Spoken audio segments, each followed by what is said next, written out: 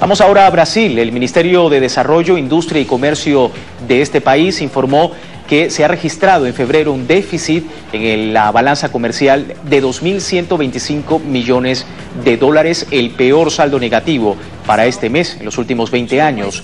El resultado de febrero surge gracias a las exportaciones que son superiores a los 15 millones de dólares e importaciones mayores a los 18 millones de dólares.